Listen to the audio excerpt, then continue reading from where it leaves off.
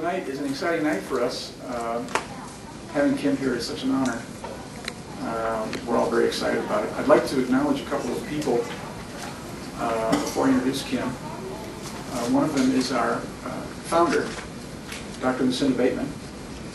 And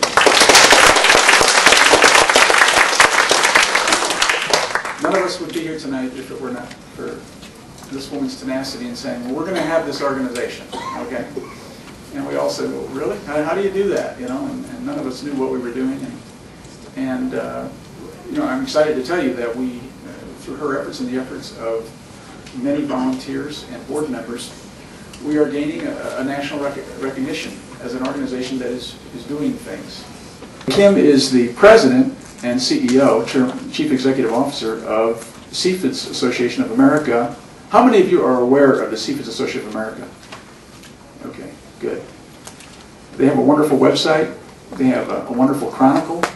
They add, they have a wonderful grass, you know, grassroots uh, effort to get us all involved, and they send out wonderful emails to us if you want to get on their lists. I recommend very highly that you get involved with their website and see what they're doing. We steal much of their stuff for our uh, newsletter, so uh, I can tell you it's it's wonderful and uh, very insightful and very up to date. They're they're uh, they're doing a fantastic job as an organization advocating for you. Um, she's also on the board of directors of the CFIDS Association. While she participates in virtually every aspect of the organization's operations, Kim is most actively involved in efforts to secure a dedicated and effective response from the federal government to this disease. She has met with dozens of federal officials about the government's research activities and represented the CFIDS advocacy community on the Department of Health and Human Services, Chronic Fatigue Syndrome Coordinating Committee, which is a committee that has been basically advocating for you for a number of years now. Uh, and that she's, she was on that from 1997 to 2002. Kim played a key, I love this, uh, Kim played a key role in bringing the misuse of CFIDS research funds by the Center for Disease Control, you're all familiar with the CDC, right? Basically, they took $12.9 million that was, that was uh, supposed to fund CFIDS research and did something else with it. And they made the mistake of letting Kim find out about it, okay? And so what she did is she found out about it and she, uh, part of her effort led to uh, an inve- investigation by the Inspector General and General Accounting Office, a public apology from the CDC, which I just love that, but, and restoration of the $12.9 million uh, that were to be spent for you, that are being spent for you at this time. So you don't want to mess with Kim, okay? She has made numerous presentations at CFIDS workshops and conferences and has written many articles on research and public policy related uh, related issues for the CFIDS Chronicle. And the chron- if you go to their website, which is cfids.org, you can actually look at uh, the archives. So if you feel like you've missed something and you didn't know about this website, get on the website and start going back into the past few months and years because there's an amazing history of our, basically, of the advocacy that they have been promoting. The CFIDS Chronicle is the world's largest and most widely circulated publication on CFIDS.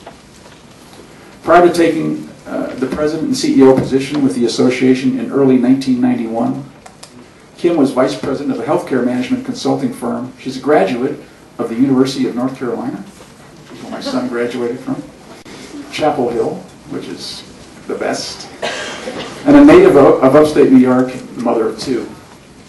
What I'd like to leave with you as I introduce Kim is to tell you that on those days when you're having a bad day and you're sitting there wherever you are in your home and you're by yourself and you're feeling horrible and you feel like you're never going to get over this thing, when you're at your absolute low ebb, what I want you to do is think about Kim McCleary, who is out there fighting for you on that day.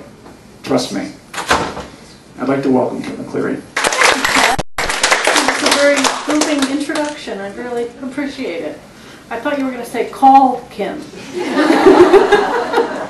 And then I was going to forward my phones to Cindy's office. Well, good evening. It's a pleasure to be here, and um, since I'm only in town for like two nights, I'm trying to stay on North Carolina time since I go back in the morning. So uh, forgive me if um, I have a little brain fog due to jet lag and coming cross country without any fluids with me in the airplane because I'm representing such a threat to our national security. Take those things away from you now, unless they're in three ounce bottles or less.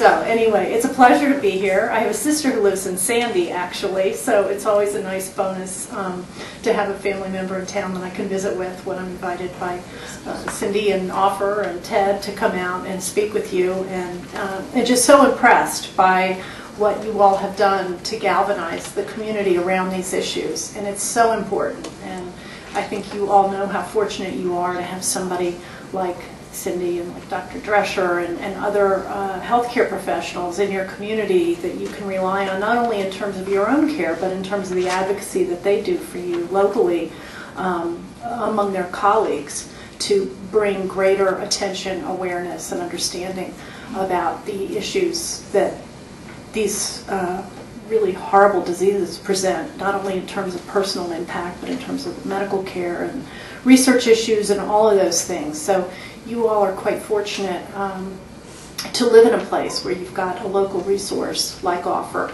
that is out there advocating for you on a local basis and a regional basis and really raising the profile. Um, I'm fortunate to travel to many other places that wish they had something like this to count on locally. So consider yourselves fortunate even on those really bad days when you feel pretty alone and desperate and desolate and uh, isolated. The topic of my talk tonight is empowerment through advocacy. And um, when they put it in the paper yesterday, I, I was both really um, pleased that the Tribune took this on and, and, announced all the activities that are happening here this week, but a little concerned because I'm sure that if, if the topic was um, the latest treatment and how to cure um, chronic fatigue syndrome and fibromyalgia, we'd have to move over to the United Center because people are much more interested in those things than they generally are in advocacy.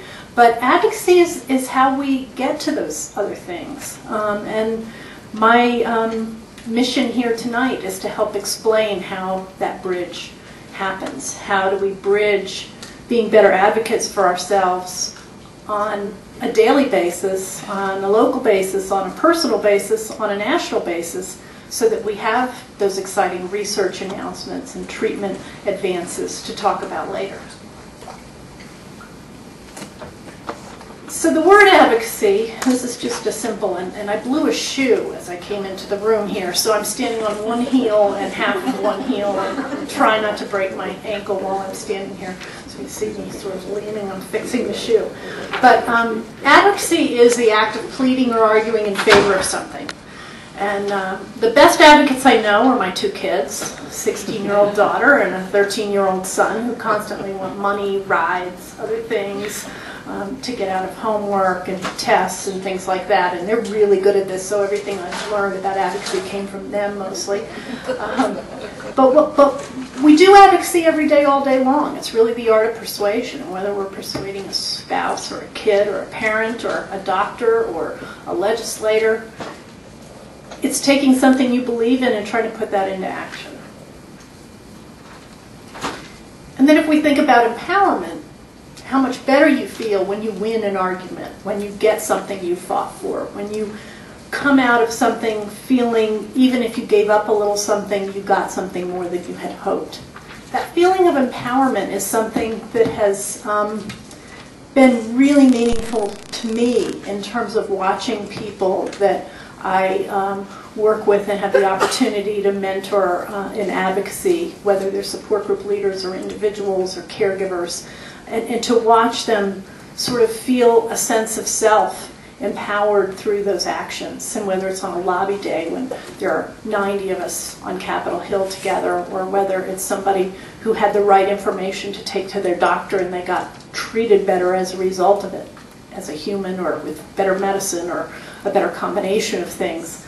Um, that can really change maybe not the way you feel physically, but the way you approach your illness.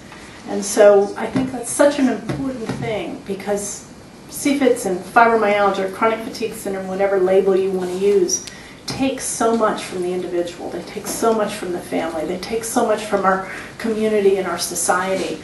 This is one way to give back just a little bit of it and to give you more oomph and power and feeling that you can, you can get through that next day. And as I've said, advocacy can be personal, one-on-one, talking to your family in a different way about your illness and why you're limited in what you can do and, and how you can come to agreement as a family about how you know this illness impacts your lives together and what changes you have to make as a family or a unit or a couple or um, you know a parent child in order to overcome the changes that come with CFS or it can be political. It can happen on Capitol Hill or in the halls of the Centers for Disease Control or up at the NIH or with the Secretary for Health, whom you all know pretty well because he used to be your governor. Um, but it happens at all different levels.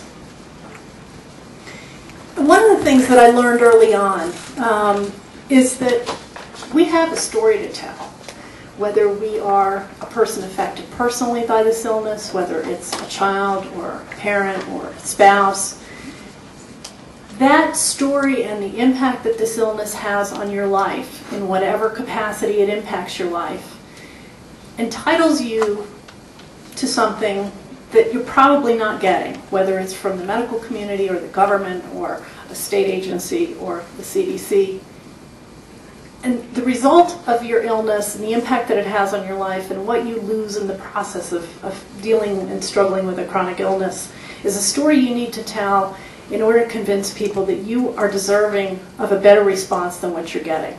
And I don't know that anybody who has this illness feels like they're getting a fair shake um, in any of those realms.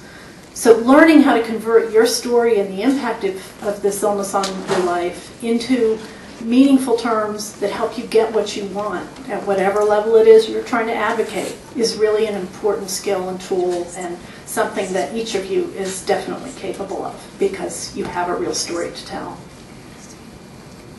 Those folks, by the way, are, um, most of them, are at the library right now. If you want to go see them on the third floor, Cindy and Ted and I set them up today. They're a little one-dimensional or two-dimensional, but they're there. Those are some of the people in the faces of CFS exhibit. Keep going the wrong way. And what we do in advocacy, uh, and i will talk about it at the national level now, is we take those individual stories and we turn it into um, a movement. We turn it into the art of persuading people who have the ability to make changes, um, whether it's in, in on Capitol Hill or in one of the federal health agencies.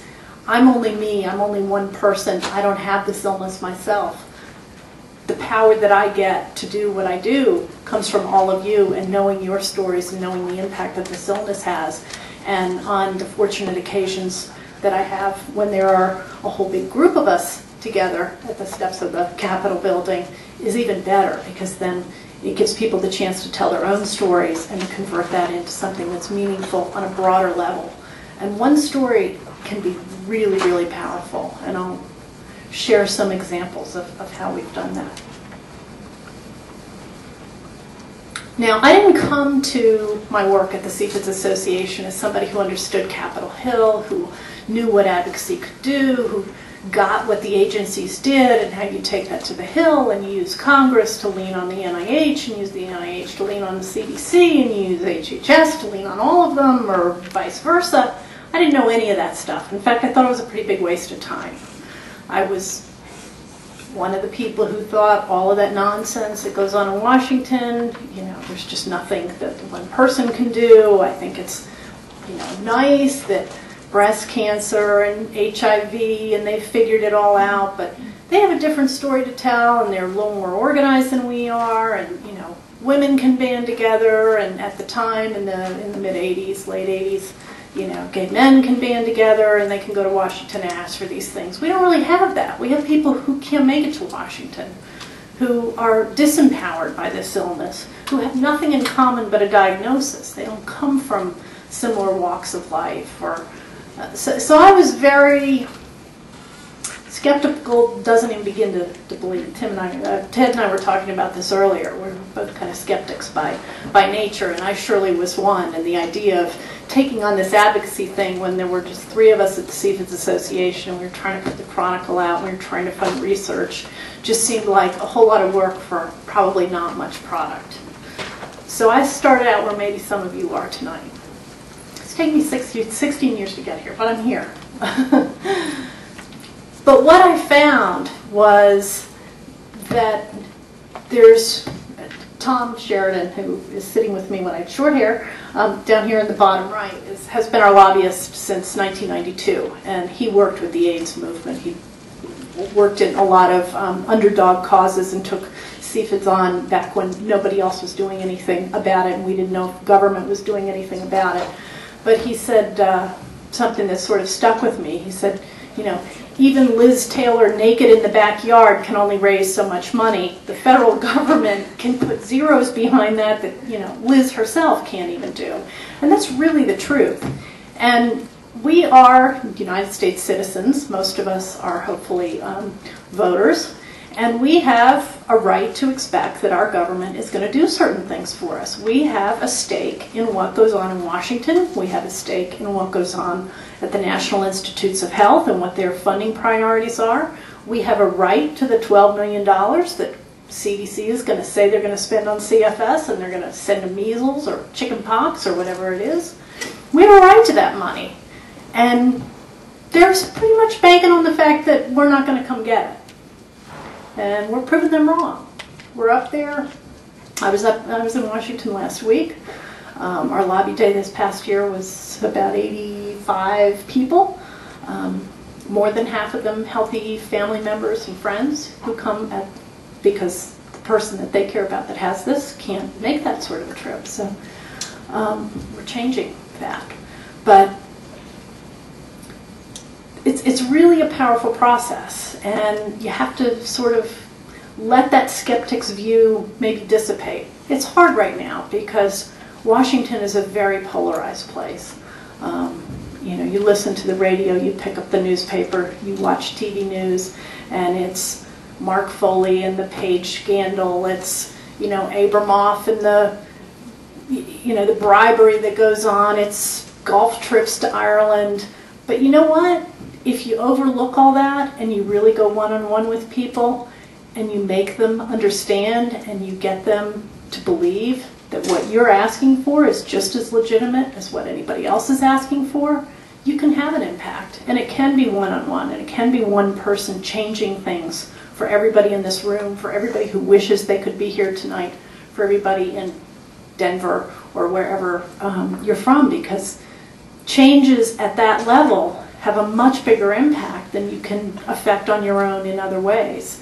And um, we sort of inherited Tom Sheridan at the CFIDS Association. He was working on behalf of an organization called Cactus. Has anybody been around long enough to remember Cactus? CFIDS Action Campaign for the United States. They, they like saying we're cactus and we're prickly. they, they found Tom and hired him and um, quickly sort of ran out of prickly pear juice or something and um, had to close their organization. And we had a donor who said, I'll continue to pay um, Tom's retainer if you'll take over telling him what to do. And at that point, I was in that skeptical mode and said, you know, I'll meet with him, but, you know, it's up to our board. I don't really know that anybody's that interested. Um, so the board sort of heard Tom out and said, well, this sounds interesting. Can't look, look a gift horse in the mouth. Let's take this donor's um, you know, offer and, and go ahead and see what Tom can do. That was in 1992. There was this little piece of legislation called the NIH Reauthorization Bill that was being written in Congress. I don't know what the reauthorization bill for the NIH is. Does anybody here know what that is?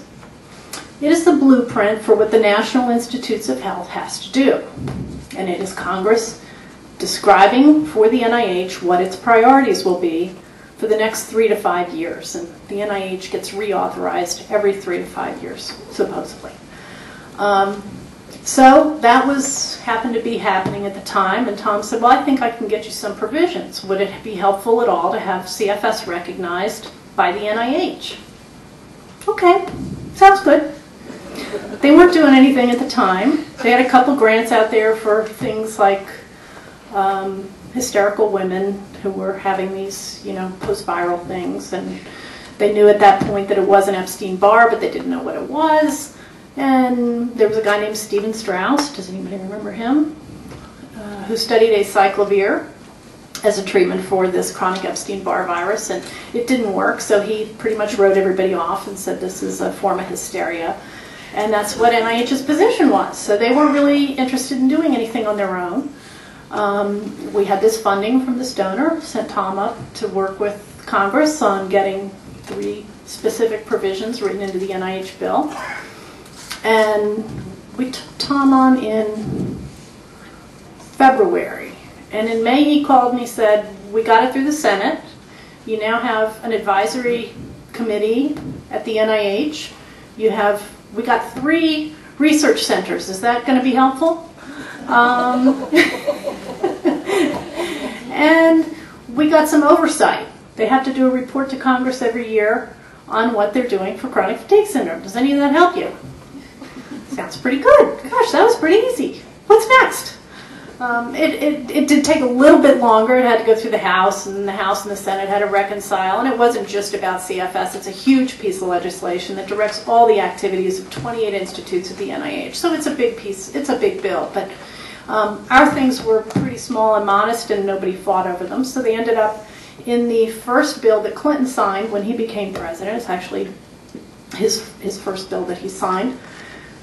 That was in January of 93. It was right after the inauguration that bill got signed. So we have those provisions in law. And guess what? Congress hasn't gotten around to reauthorizing the NIH again since 1993 because they fight over things like stem cells and now they fight over cloning and all these things catch up that bill. So we still have those things. I mean, it's one of the funny things about government is sometimes you're, you, you get the benefit of something you expected would have a, lot, a shorter shelf life because they can't get their act together. Um, and in some ways, NIH has, has gotten away with a little rescission uh, here and there over what they're doing for CFS. But the fact is, that was the very first legal um, recognition of CFS anywhere. And it wouldn't have come about without advocacy. NIH would have never put that stuff in on their own. Nobody in Congress would have ever written those things in had somebody not gone up there and asked for them. And luckily, we had Tom who knew where to go and what to ask for and how to get them in and how to make sure they didn't fall out and the process of all that wrangling it took to get the bill signed. So other than that little uh, sort of snapshot of what happened quite a while back, what can we get today as a result of effective advocacy? Uh, one thing that I've been just hawkish about um, since we got involved in this is accountability. Because there's nothing worse than somebody saying they're going to do something and not doing it, and then you not knowing they didn't do it and thinking they might have. So, a big part of what we do, what I do sort of as a personal um, mission, is to make sure they hold true to what their promises are. We've also gotten quite a bit of funding. Um, when we started our advocacy work, the government was spending about $4 million on CFS research, and over the past 15 years, they've spent a total of about 160 million, which isn't enough, and nobody's going to argue, you know, that it is. Um, in this room, anyway, it's not enough, but it's a whole lot better than dribbling in, in at three million a year and not knowing how it's being spent. We've gotten the ability to help direct some of that research. They're not doing studies on hysterical women anymore. They're doing biomarker studies. They're doing um, using cutting edge technology like gene profiles and genomic triage. They're funding uh, autonomic nervous system research, a very broad spectrum in many different disciplines, cross disciplinary teams, many different institutions across the country. Um, so we've, we've moved not only the amount, but also the focus of that research. And we've gotten them to throw in some education money as well. We've gotten participation. And before we got involved, all of these decisions were made behind closed doors with no input from patients, with no input from their advocates, with no input from people like Cindy who work in the field. It was pretty much bureaucrats deciding how they were going to spend what little money they put toward this as sort of a false effort. Um, and so that's changed. We now have this advisory committee that Cindy sits on, that I sat on in one of its earlier um, incarnations, that meets a couple times a year, a couple, three times a year, with the Assistant Secretary for Health in the room sometimes. Surgeon General used to come to the meetings. It's not, um, not something everybody has. And then lastly, empowerment. The opportunity to feel empowered and strengthened by participating in those activities and feeling a sense of success, progression, progress, um, momentum about things. There are days when it doesn't feel so good, but there are other days when you couldn't win like that in, in any other forum. Ted talked a little bit about um, the scandal, the funding scandal that sort of still lives on in some realms, but as, as he mentioned, um, spent a long time going to federal meetings that have to be held in public, asking questions about what money they were spending and what they were spending it on, and tracking from year to year. If they told us they were going to do a bunch of lab studies, two years later, nothing had been published on any lab studies they did, and marking that down and keeping track of who said what and how much money they spent on this and that. And that's how we finally got enough evidence for a whistleblower within the CDC to come forward and say, all those questions you've been asking, you're right. We spent that 12.9 million on measles and um, rubella and a couple other things. Not real, well, I guess measles is back, isn't it? So maybe they needed money, but not from our pot. We're not giving it to them. Um, but it was a really, uh, it was a very low point. I mean, we knew that they were doing it. We documented it. We gave them an opportunity to fix it in a quiet way. They decided that they were going to call our bluff.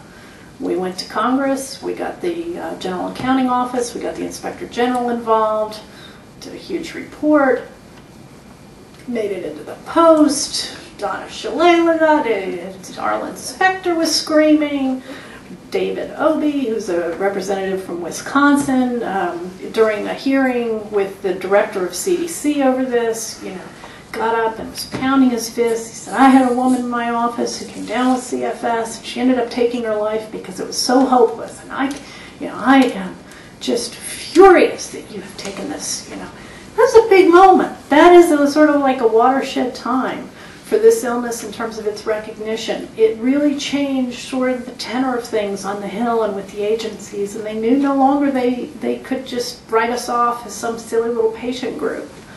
Um, the changes that CDC was forced to make in terms of its own accounting practices and financial management systems um, are really still lingering today, and, and they're having some issues as a result of it, but it really all boils back to the 12.9 million they tried to steal from us.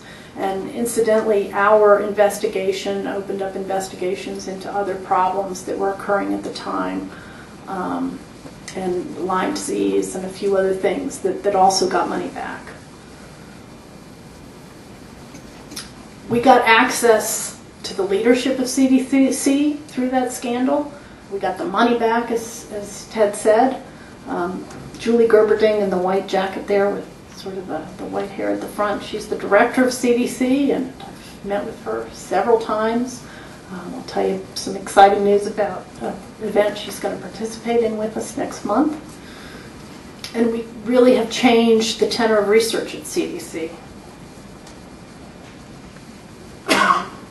In June, one of the one of the sort of reparation package items that we asked for um, at the culmination of the sort of repayment of this $12.9 million was to make CFS more visible uh, in the public.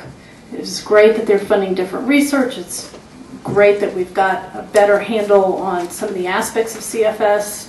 The biology of it is better understood. There are collaborators working with CDC from Emory and Australia, and been some exciting research announcements over the past few months. Um, but we felt like without the public knowing about those things, we hadn't really gained as much as we could have. So as sort of a final installment on this reparations package, um, CDC launched in June a public awareness campaign, and I'll give you some more information about that if we have time at the end. Um, and we are working with them, and we'll be having a press event November 3rd at the National Press Club with Dr. Julie Gerberding as sort of the keynote for that event, and hopefully you'll hear a lot about CFS in the national media um, after November 3rd. Um, the National Institutes of Health is another federal agency. It's the biggest funder of biomedical research in the world, $28 billion budget every year. That's where those provisions got written into their blueprint for how they operate, but they also um, fund quite a bit of research. Um, when we started this, CFS was pigeonholed in the National Institute of Allergy and Infectious Diseases. And that guy Straus was studying hysterical women who had some sort of a post-viral thing. And now, um, through our efforts, because the research on CFS has moved not to, to, to sort of include infectious triggers um, as maybe you know one route to CFS or fibromyalgia. Many people have sort of that acute onset that you can remember the day and the hour and the minute that you started feeling badly. But there are other people who have different sorts of onsets, and we knew that we needed to be much um, more broad than just looking at sort of bugs and drugs, if you will. Um, and to do that, I had to really play of Little Red Riding Hood and go up to um, the NIH campus and go building to building and, you know, can you help us with CFS and, and really sort of build person by person uh, up there um, support for some of the autonomic studies, for the cognitive studies, for some of the long-term studies and understanding what happens to patients over time, um, the comorbidities. None of that was happening in the early days, and because of the way NIH is organized, you really sort of have to build that effort um, person to person. It's, it's an odd way to um, do science, but that's how it happens, and it's almost like missionary work. um, and, and now we have the CFS research is organized out of the Office of the Director. Um, it, it's sort of within the Office of Research on Women's Health because CFS does affect women four times um, the rate of men, but it's certainly not uh, only a woman's disease. But they have the ability to sort of do some of that work for us in going out and building those multidisciplinary teams and making sure that there is exposure to um, several different realms of research, and the Human Genome Project, and all the things that, that sort of NIH is well known for, and that we have a stake in that. One of the things that we have been after them for years to do is to bring higher visibility of CFS to the broader academic medical community. And so we worked for about three years to get them to issue what's called a request for applications to send out a signal with some dollars attached to it to the research community saying we are interested in funding CFS research. And that's not um, an easy thing. NIH doesn't really like to do that. They like researchers to have an idea and to come to them and for it to be blessed by their colleagues. And you know that's the general process that they go through. So in order for them to sort of throw the hook into the water and put a nice big piece of meat on it to draw, well, let's not say sharks, to draw the tuna to it. you have to spend a lot of time up there, and we did. But uh, they issued this RFA in June of 2005. Um, the, they got 29 applications, which doesn't sound like a lot, but in their normal course of the usual way they do things, they were getting three or four a quarter. And NIH typically funds about one out of five grant applications. So if they're getting three a quarter, four a quarter, you know, we're only going to get a couple funded a year at that rate. So for them to get 29, that was really quite a sign to them that the research was out there. So that was one thing they were saying is we aren't getting the applications, so nobody's interested in this. So throw the money out. They got the 29 applications, and there's sort of a new feeling up there about this. I was up there on Friday as well. Um, and there are seven new grants that are going to be announced in November either at the November 3rd press conference or at the next advisory committee meeting on November 20th and 21st. Um, and one of them is coming to Utah, University of Utah, to researchers up there. The Social Security Administration, how many of you have gotten the fun of dealing with them? Yeah, that's usually the result. Um, one of the things that we were hearing consistently very early on, and, and Social Security Administration, while it is considered an entitlement program, they put people through the paces to get that money. And when they give it to you, it ain't much. Um, but they are organized in a way to make it tough to get the money. They don't want to just, you know, oh, you're not feeling good today, let's send you a Social Security check. That's not the way they're cut out. You have to be disabled for a year. You have to have uh, substantial gainful em- employment, and you know you have to meet all of these criteria, and then they have to believe that you really have a disabling condition and that you can't work in any job, not just the job you used to have, but any job in the marketplace. So that's a pretty tough threshold, um, and it's not just CFS that is difficult to qualify for disability. But people with this illness and fibromyalgia as well were reporting an even tougher time than most people were.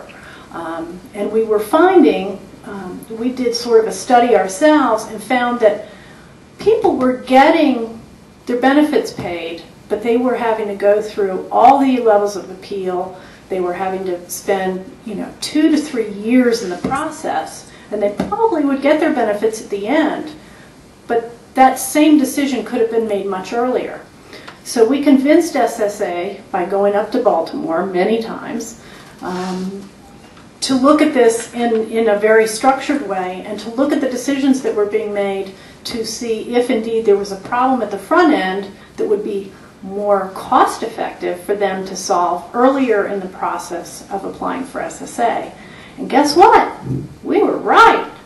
And they wrote a disability ruling and I know it's still not easy to get disability, but most people get it at an earlier stage than they otherwise would have without this ruling. And it was another formal legal recognition of CFS as a disabling condition that not only has an impact on your Social Security disability, but has also had uh, implications for people who have long term private disability coverage as well, because the two are sort of informally linked. And if you have private disability and you don't win your Social Security, chances are that private disability company is going to find a way to cut you off. But if you do get Social Security, it makes it much more difficult for them legally to, um, to end your benefits, although they're finding new ways to do that too. But that was quite a process. And then one of the other things that we've done, um, we found through the process of being able to question CDC about its spending and about its research priorities and measuring those things and being very um, vigilant about those things, that having a public forum in order in, which to ask those questions was a really big part of how we were able to keep tabs on what they were doing. And we had sort of a friendly person in the government, a doctor named uh, Phil Lee, who was the Assistant Secretary for Health under Clinton, and um, he had a friend, personal friend with CFS. He was also the Surgeon General for a time. He made it possible for us to sit around a table as advocates with people from the Social Security Administration, the NIH, the CDC, the Food and Drug Administration, um, in one room, even for a day, a couple times a year, an opportunity that doesn't just present itself. I mean, these guys don't talk to each other, let alone let patients in the room. That just is not the way they're used to doing business. But we got Phil to convene these meetings a couple times a year, and when we knew that he was ready um, to step down from his post and retire, we asked him as a legacy if he would help formalize this committee, charter it so that it would continue on beyond his tenure. And we were able to do that even in the days of Al Gore's downsizing government. You remember that? They've done a great job with that, haven't they? Um, the downsides in government's worked out real well. but we got that committee chartered. We have to fight for it anew every two years. But Secretary Leavitt just signed the charter September 5th. Um, and now it's in its third uh, reiteration as the CFS Advisory Committee, and we have some great people on it 11 members of the public. They're the only voting members, and, and the time when I was on it, the feds got to vote too, and they always made sure there were as many feds as there were public people, so the votes were sometimes interesting. But the, the whole structure of it's changed now, and it's just the public people who vote on things and make the motions and actually make this, the recommendations to the secretary. So it's something that I get calls about from people from, you know, interstitial cystitis and TMJ and all kinds of other diseases say, how did you do that? You know, how, how do we get that? How do we get the chance to sit down with those people uh, twice a year, four times a year, um, and have somebody of the Surgeon General's caliber sitting in the room even for a little while during that meeting? And then in terms of the empowerment aspect, one of the things that Tom said was really important to do early on was to bring people who had this illness up to Washington once a year and ask them to meet with their own members of Congress. So we started doing these lobby days. The first one was in 1992, and there were three of us, Tom, me, and a guy named Roy. And we did, I think, seven meetings, and it was, it was pretty interesting because you're a little intimidated by the marble hallways and the flags and the busyness and the bells going off and the ornate, you know, decorations. And by the end of the day, you realize you know a lot more about what you're talking about than they do. It's and it's a very fulfilling experience to go in there and have even just a glimmer of recognition and to go back and they remember, or they remember you, or they remember the topic, or they say, "Yeah, I've gotten a letter about that." Um, we've done it 14 times now, and literally hundreds of people have come to participate in that. And um, the most exciting event of the year for me every year is Tom graciously invites everybody who comes to Lobby Day back to his home at the end of the day. And the first couple of years that we did it, I said, you know, people are tired, going to be wiped out. They're not going to probably make it. We might get a couple people, just a few refreshments, certainly no alcohol because people with this are generally alcohol intolerant and you know that would be bad for them to drink.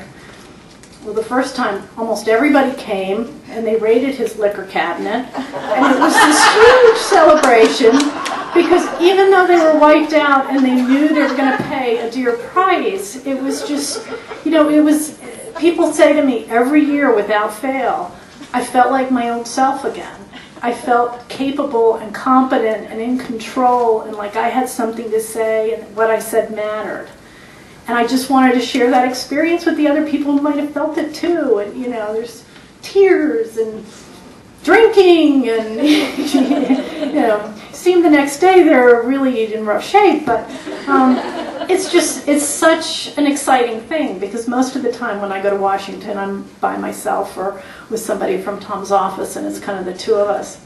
And so to have 80 other people and to see friends in the hallway and oh are you having a good day. And oh we had a great meeting. And you know so and so has constituents they get a sister-in-law with this. And you find out those things when you can flood you know a bunch of offices on a single day that you wouldn't find out if I've got to go up there and you know do 10 meetings a day a few times a year. So it's really been just a tremendous experience not only in terms of raising awareness and I think Congress as a whole is probably the best educated body about CFS um, because we've been able to do this.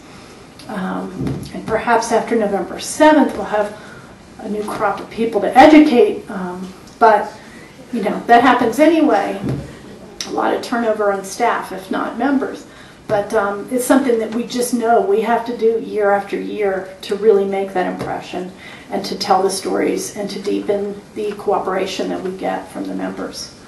Um, in addition to that, we launched something uh, on our website called the Grassroots Action Center to enable people who can't be in Washington to help us in a virtual lobby day. And all through the year, we send out alerts when there are timely opportunities for you to either contact a lawmaker or a public health official or even the media about CFS. And we've generated 37,000 letters to um, people and have had a great impact when Secretary Leavitt signed the charter for the advisory committee, um, I met with the Assistant Secretary for Health on Friday and had a chance to thank them for doing that. He said, "Yeah, we've gotten about 900 letters from people in your organization, and you know they don't. That's not an everyday thing for them. Some people on the Hill are used to getting a lot of mail, but others are not, and it does make an impression, and it helps them recognize that even though I'm meeting with Kim and Tom, they know there are a thousand people that are going to hear about that and watch and maybe contact them. So, you know, that's sort of the pep talk. But if your numbers and what's the bottom line here? Okay, the CFS Association is the single largest source of funding for CFS research outside of the federal government. And since 1987, when the organization was founded and made its first uh, gift to a CFS researcher, up to the present time, we funded about $4.8 million in CFS research, which because it comes all from patients, most of whom are financially uh, impacted by this illness as well as physically and, and emotionally and all in other ways uh, impacted by this illness. I think that's a pretty uh, amazing statistic. But if we look at what the federal government has funded over that same period of time, those little yellow bars are the association's investment, and then CDC is the dark green, and NIH is the green on top. And, I mean, we're barely in there, barely in there. But that's that's the power of it, is we can leverage the little bit of money that patients can afford to make an investment in research, and we can take that and we can get the government to really multiply that number.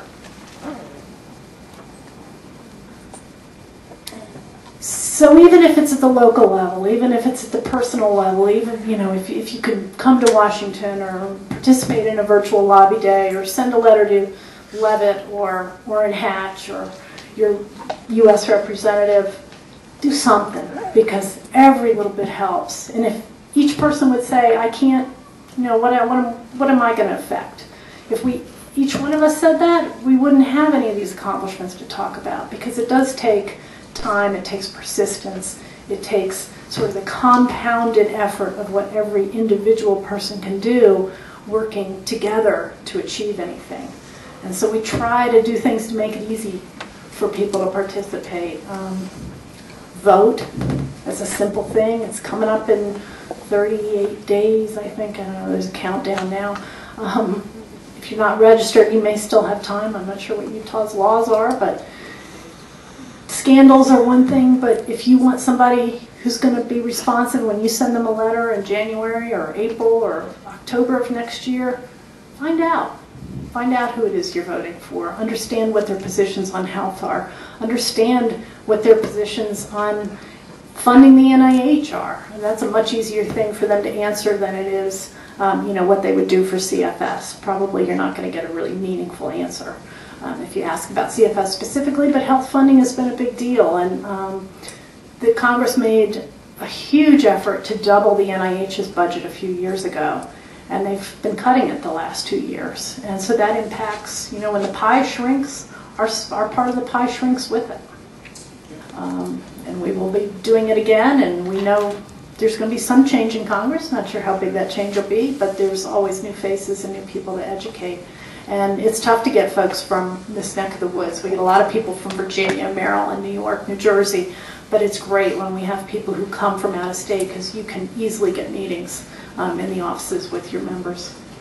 And then if you can't make it that trip, and that's certainly understandable, uh, virtual lobby day, it's just a few clicks away if you've got access online. Um, and it does make a difference. And it, before um, the anthrax scare, we used to tell people to send a snail mail letter because that was worth 15 emails or there was some formula. But now none of them take regular mail, so everybody's fighting for the, uh, the greatest number of people they can get to write on a topic because that's the real barometer these days. So the more people we get engaged in our virtual lobby day, the better our, chance, our message has a chance of resonating. We can either do Q&A or I can give you some um, information about the National Awareness Campaign. Or we can do both. We'll do a little both. Anybody have questions about advocacy? And then we'll, we'll see where we are time-wise and I can talk about the uh, awareness campaign. I was wondering, uh, with, with some diseases, there are some celebrity advocates. Are there anyone like that within uh, for chronic fatigue and fibromyalgia? Um, that has been something that has been brought up from day one of you know my participation with the association, and there have been some high visibility people, high profile people that have been um, candid about their experience with the illness, and then we know there are a lot of others out there who, for whatever reasons, you know, stigma, insurance, their ability to remain employed, um, won't sort of come out about their illness. We're trying to build what we're calling um, a board of luminaries that are willing to put their name and be associated with the illness either because of their own experience or that of a close friend or family member. Um, and Laura Hillenbrand, who wrote the book Seabiscuit, that most people are familiar with her name and her story, even if you've not read the book or seen the movie. But um, she has been probably the most visible and I think um, credible uh, public figure in talking about her illness. And she's helping us sort of form this board of luminaries. Um, Gary Sinise is a close friend of hers. They have an organization called Operation Iraqi Child. And um, he's lent his name. So we're, we're slowly building sort of this and hoping that some of those people that we know are on the outside and haven't wanted to come into the circle and the light will feel a little more empowered by having other people at their level and at their level of visibility um, to, to do that because we know that that's important. I mean, everybody wants that. What we've tried to stay away from are the people who um, would not help in terms of credibility. I know Cher's name comes up. Olympic. Um, the, the Olympic soccer player, Michelle Akers. There was a skier. Hmm. There was also an Olympic uh, ice skate, uh, speed skater. Yeah. Um, there have been there, and the athletes are tough. Some people get real upset about the athletes. Yeah, they, they get real upset about the athletes. Um, it's been a very polarizing thing. Um, and, you know, it, it's tricky because sometimes you get a celebrity and they'll say, you know, this all started when I had, I was beaten as a child. And, you know, so that becomes the story. You, you, know, maybe it was, maybe it wasn't, but um, you have to just be really careful. I mean, they're a spokesperson, their story is an N of one just like anybody else, but it carries a lot more weight in the public. Um, so we're, we're proceeding carefully cautiously, trying to build a, a group of credible people that really represent different dimensions and can talk about this in a sort of 360 degree way.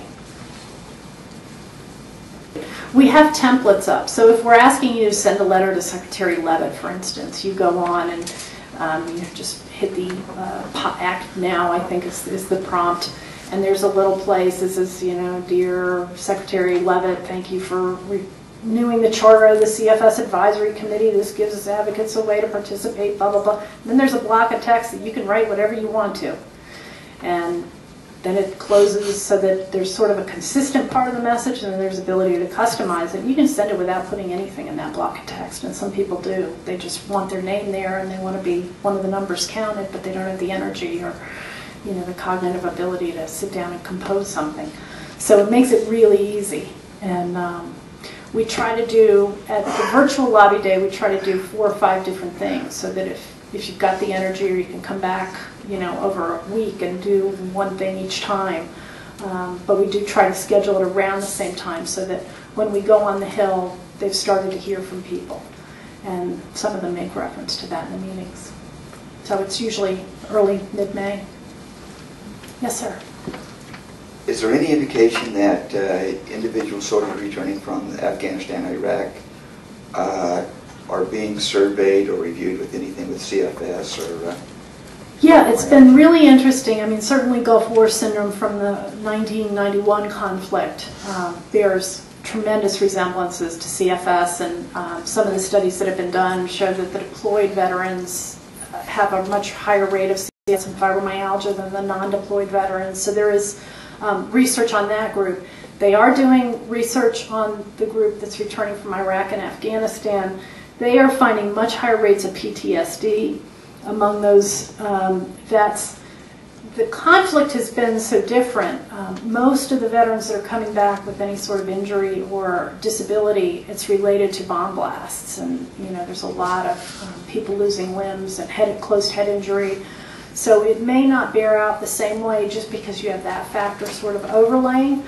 But I was actually at a meeting, a research meeting few weeks ago at CDC, and they're finding, um, at least in the Army, in the guys that are coming in for basic infantry training, that are being um, enlisting and, and going into basic infantry, about 20% of them are washing out before the end of basic training, which is just an eight week period, with something that on a, on a short term looks a lot like CFS. Um, and they're not sure why. So they've begun to study this group, uh, at least at Fort Benning in Georgia. They're studying the recruits coming in and assessing their health because they're healthy enough. They're young guys. Um, this so far they've studied the males.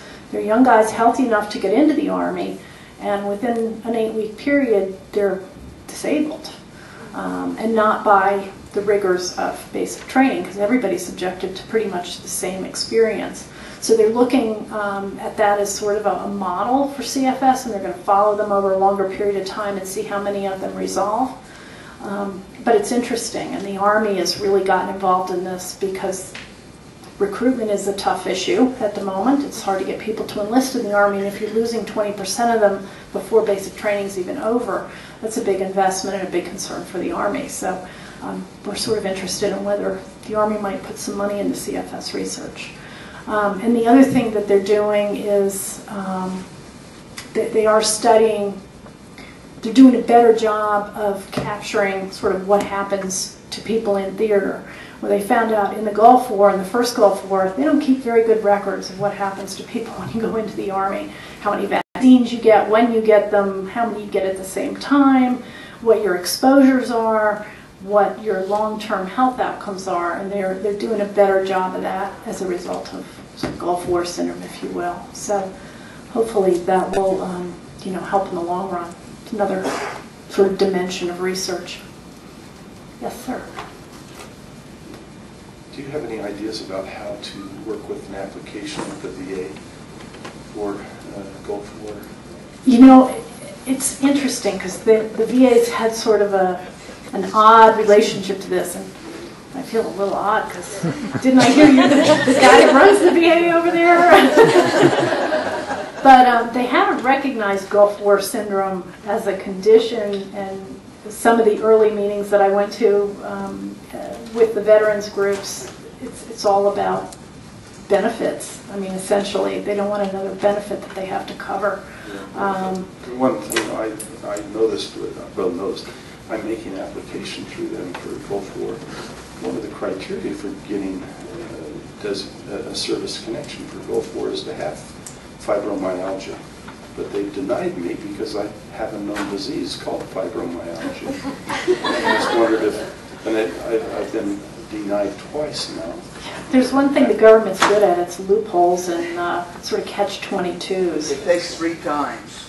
Yep. I did it. Three, huh? Oh, Yeah. very good. I'll- You know, most of these systems, they, they count on attrition. They count on people saying, oh, I got denied, I must not be entitled, it's not worth my time and trouble. And they're hoping that you don't last to the last option. You know, the last opportunity is Exactly. probably when you're going to get your, your positive decision, whether it's Social Security or VA or whatever, because they're just, they lose, you know, it's like, it's a numbers game. And not many people are going to make it all the way through to the end. So I would just encourage you to keep fighting.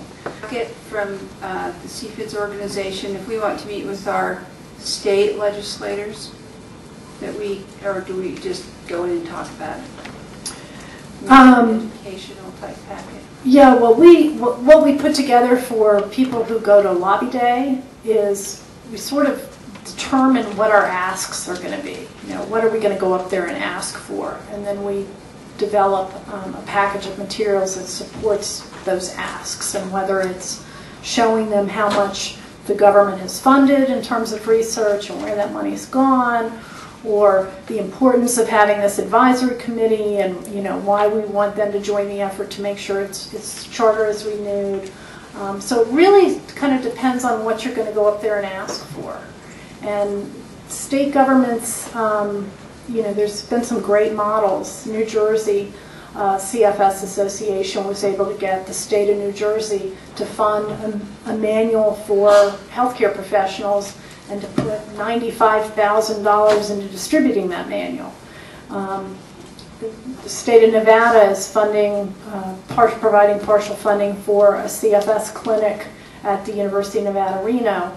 Um, There's private money going into that effort as well, but um, I think they gave $10 million in the last session of, um, you know, their state legislature to this effort. So you sort of have to define what you're going to go up there and talk to them about, and whether it's something at, you know, University of Utah, and you can get these researchers who are just funded by NIH to go up there with you. That sort of determines what you're going to bring with you as evidence to support your asks. Um, Otherwise, you know, we- I brought a whole bunch of chronicles with me, um, both the most recent summer issue and our special issue, which is an update on research, and I don't intend to lug any of them back to North Carolina, so take all you want. Sure. Um, I just wanted to add that um, Offer is hoping to form a committee that's, that can uh, start to do advocacy in the state. So if you want to volunteer for that, you know, give your names to the board, and maybe as that comes together, and, you know, we can sort of form that committee, maybe that committee could identify a couple of key messages to start uh, delivering to our state uh, leaders and, and and go as a group so that it would be a more powerful statement. Yeah, and you never know where people are going to end up. I mean, Secretary Leavitt was your governor before he went on to EPA and then to be Secretary of Health. So, um, you know, the person who helped turn around in Congress the CDC scandal, he, he was a freshman member of Congress from Illinois' 10th District. His name's John Porter. He's not in Congress anymore, regrettably. But um, he had constituents that just went and visited him at every town hall meeting and talked about their daughter with CFS. And he was just a junior member of Congress, didn't have any power, didn't sit on any committees that were particularly helpful, but they just made it their business. Every time he came back to the home district, they'd show up and they'd ask a question or wait it out until he was the last one in the room and just say one or two things about their daughter. And as it turned out, he moved up through the ranks and became the chairman of the Appropriations Committee, which is the funding committee that makes all the decisions about how much money NIH and CDC are going to get. And he was in that chair when the scandal came through, and he was the guy that helped get us back our money. And had his constituents not gone in from the first day he got elected until the day he had that power, you know, I don't know that things would have turned out the same way. Yeah. Uh, Take it back. So as far Sorry, as, um, it's the chronic fatigue awareness campaign, they're doing a lot of research on chronic fatigue.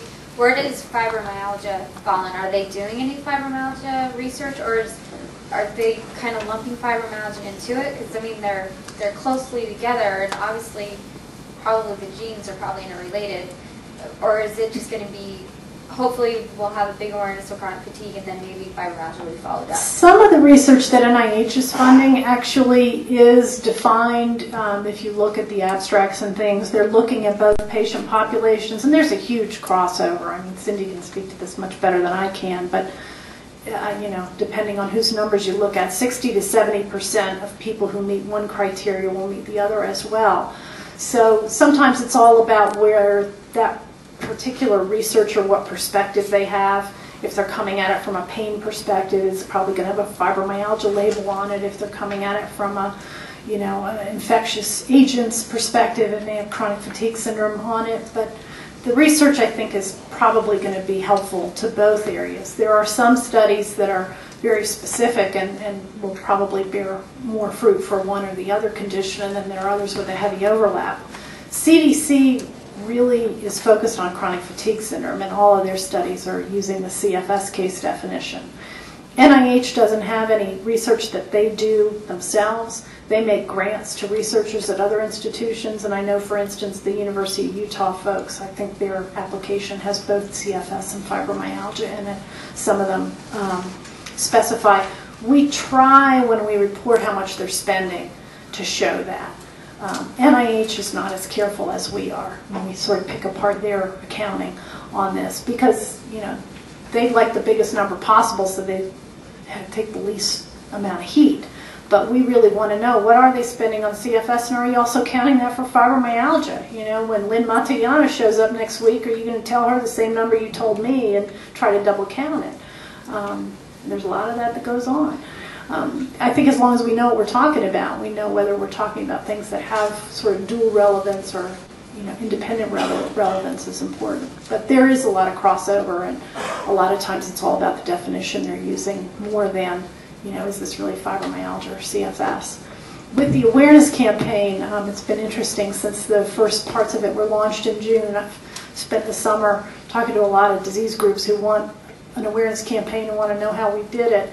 And oh, well, you know, couldn't you add TMJ into the ads that you're doing? And you know, maybe you could talk about interstitial cystitis when you talk to the reporter the next time. And um, we just try to be real focused on CFS because there hasn't been anything like this right now. But I think the impact we tried to really, um, in the research that we did to develop all the materials, the impact on the individual's daily life was what really was the grabbing sort of message. And I think that has relevance, no matter what the label is, um, in understanding sort of multi-symptom illnesses that aren't defined by a test and don't have a drug. Um, but, you know, we're sort of trying to put our stake in the ground first before we broaden out too much and maybe lose some of the impact. Hope that answers the question. Yes, sir. Uh, When the CDC started their awareness campaign, um, they did a fantastic commercial for TV. And, uh, but the problem was, I only saw it once at 4:30 in the morning. You may have been the only one that saw it. I, It was fantastic. I, I'm glad you liked it. And I was just wondering if they can ever get it uh, run again. I did see ads too in in magazines. Yes, yes. Maybe this is a good segue. I'll switch over my slides to that talk and um, share with you some of the things that uh, this gentleman has brought up. Um, We at the association have sort of named this campaign Spark, and we're trying to ignite CFS awareness. I know, tacky, isn't it? That was me in one of my late night uh, creativity sessions. Uh, But this campaign, we have literally spent three years convincing CDC that this is an important thing to do. And um, every day I spend part of my day convincing them it's still a good thing for them to do because they fall off the wagon really easily. Um, Cindy's on our board. She knows my frustrations. I'll keep them to myself. Um, but this campaign is really targeted at women ages 35 to 55, not only because they are the um, primary audience affected by CFS, and most of the people who have CFS sort of fall loosely into that category, but women um, make 80% of the healthcare decisions in our society, whether it's for a child, a parent, or a spouse. So we're, we're going after the women. They're sort of, if you will, in marketing terms, the low-lying fruit, which I can't stand that term, but that's what the, all the marketing people say. We're going after the low-lying fruit. They're receptive to these messages and we know how to reach them. And they read and they care. Can't argue with that. We could go after, you know, 60-year-old men and we'd have a much harder sell. Our secondary target is primary care professionals, um, physicians, PAs, physician assistants, and nurse practitioners. And um, we did a lot of research. We did a lot of focus groups and sitting on the other side of that glass and hearing people say what you know they're saying, but watching them say it and getting it on tape is really an interesting process. Um, uh, we hadn't come as far as I thought we had when we were doing this research uh, last fall, but we, we did it the way that the big marketing firms do, and we made sure that what we were going to say in these ads and on these TV PSAs um, was going to mean something at the end of it. And as I said, sort of the, the messages that scored the best, um, and these were with people who we are trying to reach and influence, were knowing what the symptoms were, because most people think chronic fatigue syndrome is fatigue and nothing else, and also the impact on life. Um, those were the things that were the poll strongest. And we also realized, and when we sort of knew on the front end, but we got data to back it up, that we were going to have to use what's called a push-pull strategy for physicians. They aren't real receptive to these messages, and they don't want to hear a lot about chronic fatigue syndrome. They got diabetes, they got obesity, they got heart disease, they got other things that are more common in their practices that they have to worry about coming through their door more often than they do CFS. So we're going to mobilize the patients to come in and ask about these things, and they're going to be forced to learn about it sort of like the uh, drug companies and the over-the-counter marketing or the uh, direct-to-consumer marketing. You know, you go in and you ask for Zelnorm if your stomach hurts. Taking a page out of that book. This is the campaign theme. It's get informed, get diagnosed, get help. Um, we realize that that tagline is uh, likely to maybe irritate, if not upset, people who have this and know they have it and have uh, a hard time getting help, despite. But we're trying to reach the 80% of people who have the symptoms and meet the criteria that don't have any idea what it is that they're dealing with.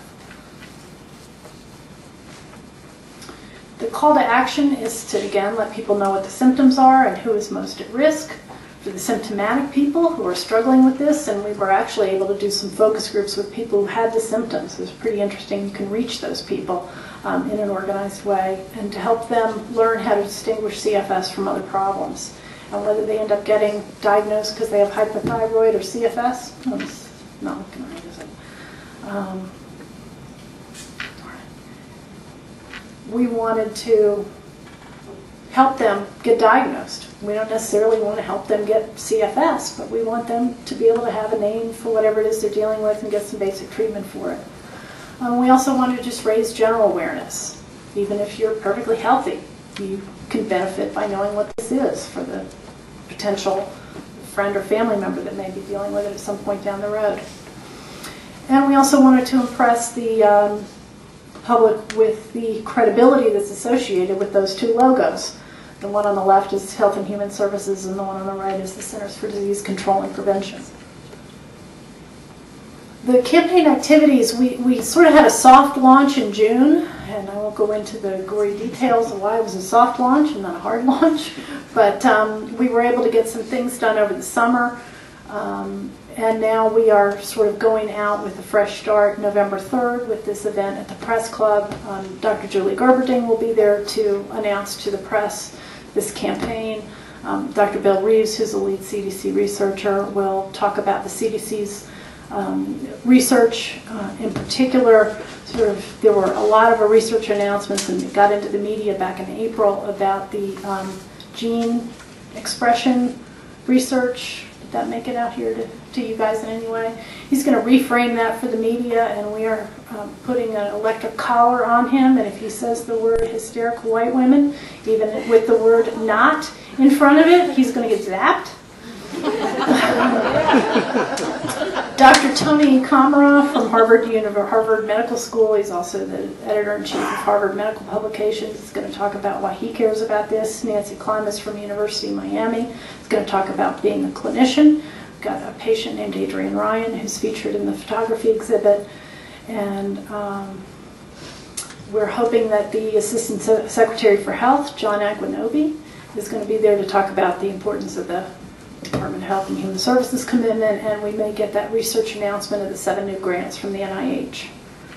So that ought to give at least something for the media to talk about.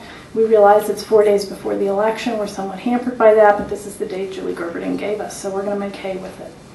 Um, immediately after the live event for the press, we're going to have this available to the media on a satellite. So um, you may even see clips of it on your local news. It's a Friday, so sometimes that helps because they may carry it over the weekend when there are less, fewer news stories sort of pumped to them. Um, we have the print ads, and I'll show you those in a minute, that um, four of them came out this summer. They were in the July and August issues, the Ladies Home Journal and Better Homes and Gardens. It's a full page color ad. Um, and I've got it to show you. We will start sort of a second round of advertising. We'll be adding People Magazine to the Ladies Home Journal and uh, Better Homes and Gardens media buys. We've got uh, a 30 second PSA, and I'd hope to be able to show it to you tonight, but we couldn't work out the uh, technical end of things. My apologies. Um, but it's a 30 second TV ad that goes going to go out to 800 stations. Went out to about 500 in June, and that's been playing sort of lightly, but we really felt like we needed this media boost to propel the TV stations to run it. We also weren't able to sort of add a grassroots level to it this summer, and we will be doing that. So one of the things that we'll do on our Grassroots Action Center is have people write to their local TV stations to ask them to play the PSA. It's likely, because we're not putting money behind it, it probably will air at 4.30 in the morning, and maybe you'll be awake to watch it. But it has aired in some markets for some reason and um, it's not Sun Valley. Is the city near Sun Valley, Idaho? No, I catch them. Hmm? Maybe, maybe it's Boise. Boise's aired the thing like 800 times. I don't know what's going on in Boise, whether somebody at the station has a family member with CFS or they just don't get many PSAs, but it's aired in these pockets. It's been really funny to see the reports. Um, the biggest market that it's aired in is Philadelphia. Um, so we're hoping that with this push and going out to 800 stations, it will start getting a little more play. And it's got a very high production quality. Um, I was fortunate to be able to watch them make this thing. It was really a pretty neat process. We also have radio PSAs. They're going out to 2,500 stations, 30 and 60 second versions. And then there's also read scripts that are shorter if some substations prefer that. Um, we have the Faces of CFS traveling exhibit that's over at the library now, and it will go to venues around the country, mostly high traffic venues. It was at the Mall of America for 10 days this summer at the back to school time, and um, a million people, believe it or not, were at the Mall of America the week that the exhibit was there. Um, we got some nice media around that, and the intent of that exhibit is not only so people can see it in person, but also because it helps to have something like that to get the media to cover CFS. And the Tribune did uh, about a half a page story yesterday uh, because the exhibit's here and these activities are going on. Um, we have a pay, uh, printed materials, one a patient brochure, and that's available over at the library, and also a new provider toolkit that's a six-sheet sort of summary of how you deal with CFS patients, both in terms of diagnosis and management. Um, We have new content on the CDC's website that will be live. Uh, Some of it went live in June, and they're going to really augment that um, in time for this November 3rd event. And CFS will be spotlighted on the CDC's homepage that gets over a million visits a day. Um, It will be spotlighted on the CDC homepage for, I think, six days, and November 3rd falls into that set of dates. Um, We've done a- quite a bit of media outreach already. We've done desk side briefings with women's magazines. There was a four-page story in the September issue of Oprah magazine that I hope you were able to see. Um, the September issue, that was a result of a few of us going to New York City and sort of doing advocacy in front of health editors at women's magazines for four days and really going door to door um, and doing that. And then we are, excuse me? Did you get on our TV show? We haven't yet, but we haven't given up hope. She is uh, celebrating her 25th year, and they're going back and revisiting some of the people that they've met over this 25 years. Two people, actually, one of the women who's in the Face of CFS exhibit and her daughter were on Oprah in 1998. So we've been pitching sort of the fact it was in the magazine, Wilhelmina and Camille were on, and we're trying to work all the angles. We haven't given up hope. She's got a long queue to get into. Time? Done? How about if I show Joe? Okay. This is the PSA um, that one person saw at 4.30 in the morning, and this is Joe McGinley, who's the actress that's featured in it, and we tried to use that impact on life idea and showed her in um, sort of a day in the life of, and it's hard to do in 30 seconds, believe it or not. Um, and it moves her from sort of her bedroom in the morning to a workplace to a children's one of her kids' birthday parties, and um, the editor or the director came up with this idea to have her sort of stationary and everybody else around her moving in. Um, well, it's a fast technique, but it ends up looking like she's in slow motion. It's really an interesting thing to watch them do. They use the green screen like they do in the you know special effects movies and stuff. But um, it's really a moving piece. I mean, I was there when they were making it. The first time I saw it, I cried because you just can't believe how impactful it is to see it in 30 seconds. Wish we could show here tonight. But um, she's also featured. This is the print ad. It was in Ladies Home Journal, and you can see that we really went for that impact on life and also the symptoms.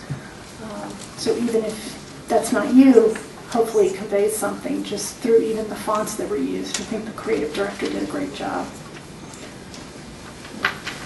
Okay, Cindy's telling me that I'm done.